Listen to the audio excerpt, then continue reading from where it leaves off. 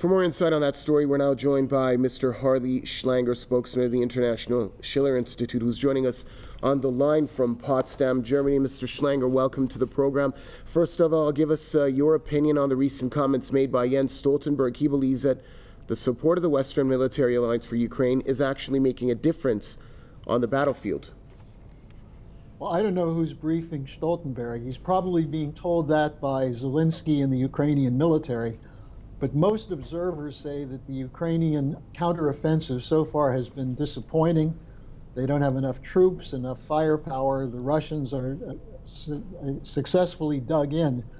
But Stoltenberg is pushing a line, which is the NATO line, which is to be prepared for permanent war against Russia.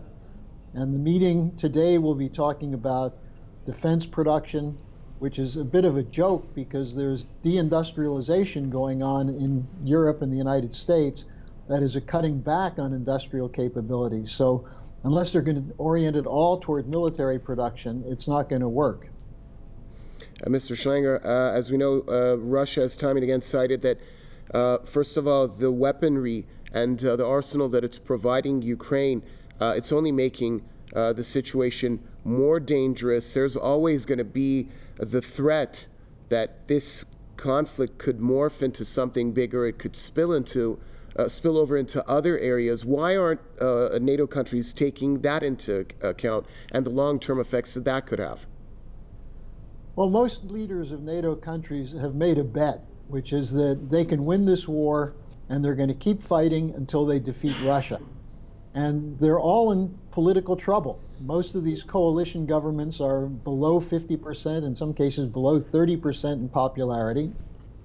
If they have put everything into this war that they said they had, and that this is a decisive test of Western democracy, they can't afford to lose. They've backed themselves into a corner.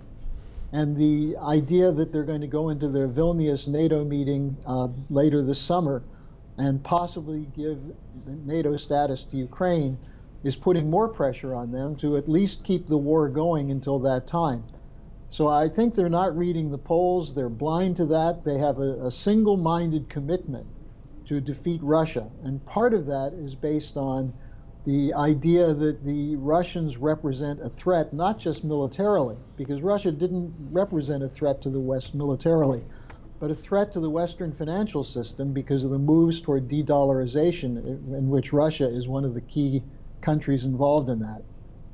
And one last question, Mr. Schlanger, before we leave you. How much is Europe uh, losing uh, in all of this in comparison to, to the United States?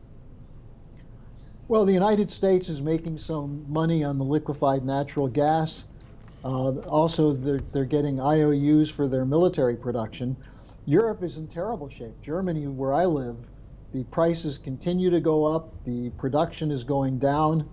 The uh, standard of living is falling, uh, but still the German people are very complacent. They're, they're not speaking out, and so they're bringing this on to themselves. It's a suicidal policy for European countries.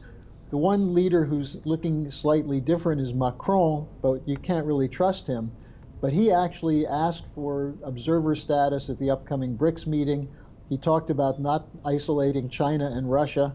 So we'll see. It depends on what happens with the populations in Europe if there's going to be a change. But right now, they're totally submissive to Biden, Sunak, and, and the so called rules based order. All right. Thanks a lot, uh, Harley Schlanger, joining us on the line from Potsdam, Germany.